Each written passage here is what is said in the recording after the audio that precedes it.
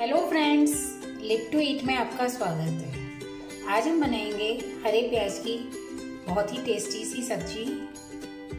ये हेल्दी भी होगी। इसके लिए हमने लिया है, ये चार हरे प्याज लिए हैं। इनके पत्ते हमने काट लिए हैं। और ये चार हरे प्याज की ही गाठे हैं। इनको हमने साफ़ करके अच्छे से काट लिया है मोटा मोटा और ये हमने चार बड़े चम्मच कद्दूकस करके सूखा नारियल ले लिया है। आप फ्रेश नारियल भी घिस सकते हैं, ले सकते हैं साथ में। ये हमने एक बड़े चम्मच तेल लिया है। ये आधा चम्मच हमने नमक लिया है। ये आधा छोटा चम्मच हमने राई के दाने लिए हैं। ये एक पिंच हमने हल्दी ली है। ये आठ से दस करी पत्ते लिए हैं, इनको हमने काट लिया है। और ये दो हमने हरी मिर्च लिए हैं। चलिए बनाना शुरू करते हैं। एक मिक्सर जार लेंगे। इसमें ये हम प्याज डाल देंगे। साथ में हरी मिर्च भी डाल दी है हमने। इनका हमें एक पेस्ट तैयार करना है। ये नारियल भी डाल देंगे।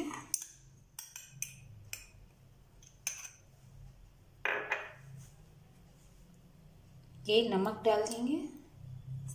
साथ में ये हल्दी भी डाल देंगे। और इसको हम पीस लेंगे दोस्तों, देखिए मसाला पीस लिया है हमने। इसको पीसने में हमने पानी का यूज़ बिल्कुल नहीं किया है। गैस पर एक पैन गरम कर लेंगे। इसमें हम ये तेल डाल देंगे।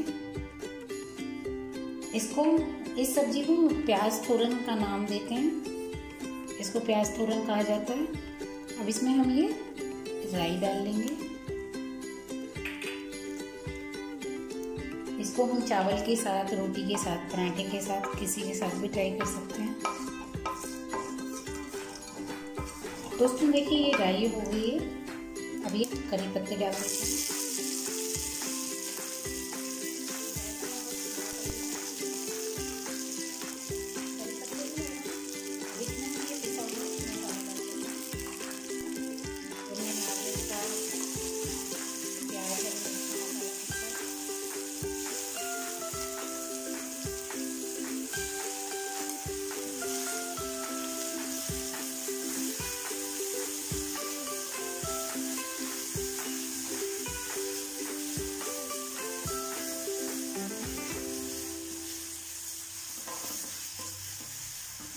इसको मैंने बहुत ही ज़रा सा सा भूनना है दस पंद्रह सेकंड तक अब इसमें हम ये करी पत्ता ऐड कर के सॉरी, कटे हुए प्याज डाल देंगे।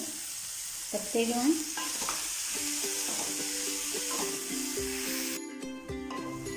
अब इन पत्तों को और मसाले को हम अच्छे से मिला लेंगे।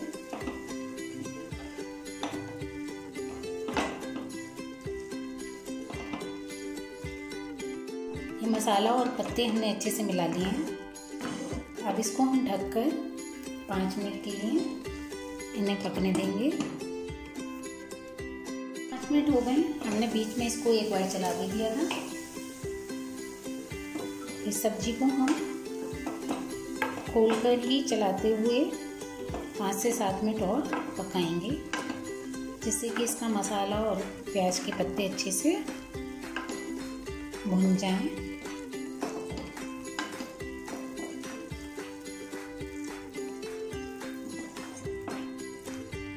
दोस्तों, ये प्याज की सब्ज़ी को भूनते हुए सात मिनट हो गए हैं। देखिए, पानी बिल्कुल भी नहीं है। सब पानी ख़त्म हो गया इसका मॉइस्चर। अब ये बिल्कुल तैयार हो गई है। गैस हम बंद कर देते हैं और सब्ज़ी को हम सर्व कर लेते हैं। दोस्तों, देखिए ये हेल्दी टेस्टी हरे प्याज की सब्ज़ी बनके तैयार है। और ये देखिए, लुक में भी कितनी सुंदर लग रही है। और ये खाने में भी बहुत टेस्टी है। तो आप इसको ट्राई ज़रूर कीजिएगा। हम इसको कभी भी बनाकर खा सकते हैं। तो आप इसको ट्राई कीजिएगा। और आपको ये रेसिपी पसंद आई तो आप इसको लाइक कीजिएगा शेयर कीजिएगा। मेरे चैनल को सब्सक्राइब कीजिएगा। Thank you